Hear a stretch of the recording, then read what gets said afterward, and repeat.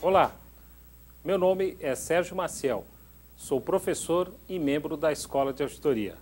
Sou palestrante, instrutor, certificador e avaliador credenciado pelo IA Brasil para certificação de departamentos e áreas de auditorias de empresas, órgãos de governo e autarquias.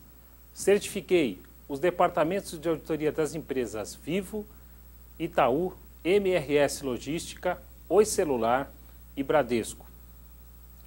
Possuo 30 anos de experiência nas áreas de auditoria interna, externa, controladoria, planejamento estratégico e financeiro.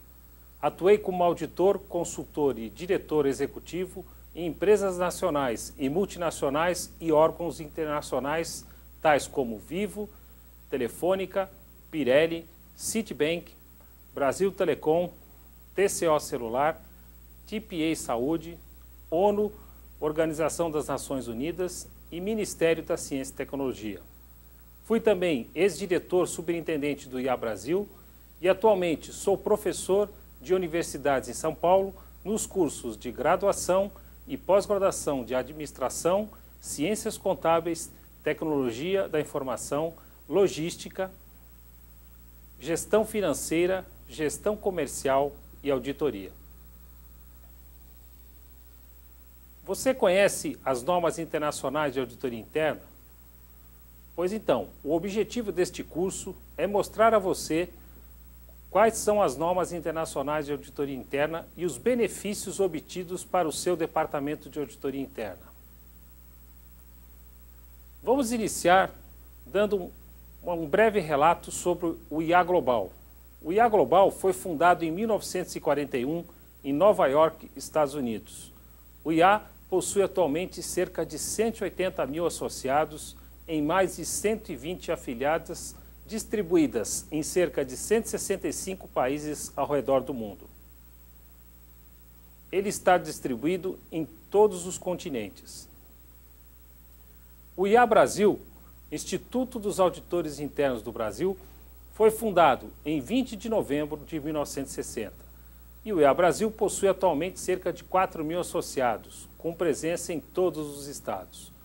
O IA Brasil promove desde 1976 o Congresso Brasileiro de Auditoria, que é o COMBRAE. E hoje o IA Brasil está entre o, o quinto maior instituto entre os mais de 120 institutos existentes no mundo. Vamos falar das normas internacionais de auditoria interna e os benefícios para o seu departamento de auditoria. O IA editou as normas para o exercício profissional de auditoria interna, que popularmente chamamos de Red Book, contendo a estrutura internacional de práticas profissionais e o Código de Ética do Auditor Interno. Falando de normas internacionais de auditoria interna, o IPPF, é a estrutura internacional de práticas profissionais elaborada pelo Instituto de Auditores Internos. E ela possui três orientações mandatórias: definição, normas internacionais e o código de ética. Os propósitos das normas internacionais são delinear os princípios básicos que representam a prática de auditoria interna, fornecer uma estrutura para a execução e promoção de um amplo espectro de auditoria interna de valor agregado, estabelecer também as bases para avaliação de desempenho da auditoria interna e promover a melhoria dos processos e operações organizacionais. As três orientações mandatórias definidas pelo IPPF, as normas internacionais, estão definidas em na definição de auditoria interna, no Código de Ética e Conduta e nas normas internacionais de auditoria interna. E agora falando um pouquinho sobre a definição de auditoria interna.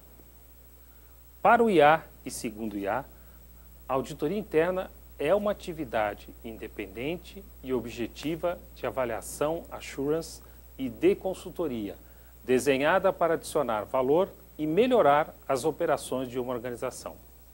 Ela auxilia uma organização a realizar seus objetivos a partir da aplicação de uma abordagem sistemática e disciplinada para avaliar e melhorar a eficácia dos processos de gerenciamento de riscos, controle e governança.